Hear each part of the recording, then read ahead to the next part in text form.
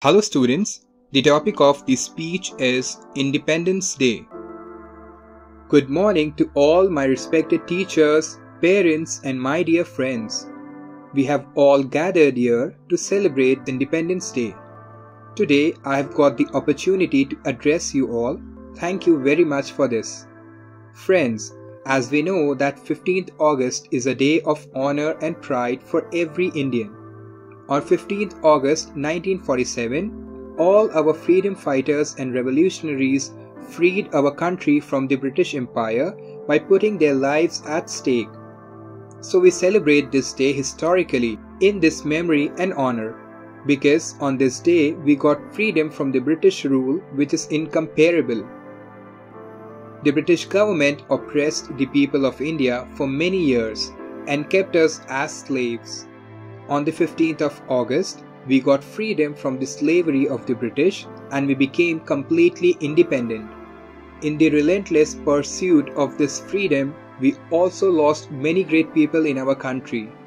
Many great people were born in our country who did not even care about their lives for the independence and willingly sacrificed for the country.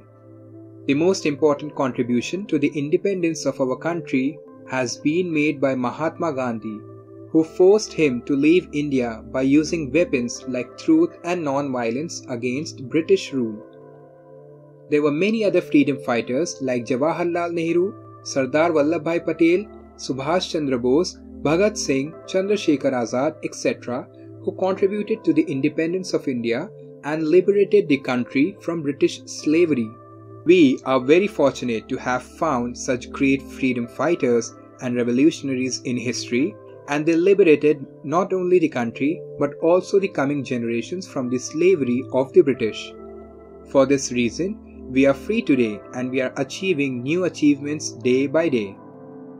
Today, 77 years after independence, our country is moving towards progress in every field. Our country is writing a new chapter every day in different fields like military strength, education, technology, sports, and many other fields. Today, our military strength is equipped with modern weapons which have the power to annihilate any enemy in the blink of an eye. As we know that our country has been an agricultural country since ancient times and after 15th August 1947, our agricultural sector has also changed a lot. After independence, we produce more quantities of crops using new techniques in agriculture and new methods of growing crops. Today, our country is at the forefront of exporting grains. In 1965, during the war between India and Pakistan, the then Prime Minister Sri Lal Bahadur Shastri gave the slogan Jai Jawan, Jai Kisan, and today the slogan proves to be quiet. Today, after independence, we have made a lot of progress in the field of science as well. Due to this scientific technique, India has reached the moon and Mars today. By innovating scientific technology every day, we are taking the country towards new progress. We are adopting science and technology in every field for ourselves. By adopting science and technology in the fields of military, agriculture and education, we have been able to make ourselves at par with progressive countries. After independence, we have made progress in every field and are writing new dimensions every day. On this occasion of Independence Day, while we are discussing the new dimensions of the progress of the country, we should never forget the scene of slavery where our great freedom fighters sacrificed their lives for freedom. Even today, our eyes become moist by remembering those great people. In modern times, we should not forget those great revolutionaries because today we are living our life freely and the credit goes to these people.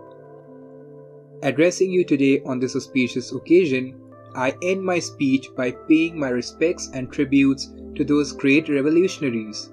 Many thanks to all of you. Bharat Mata ki Jai, Jai Hind.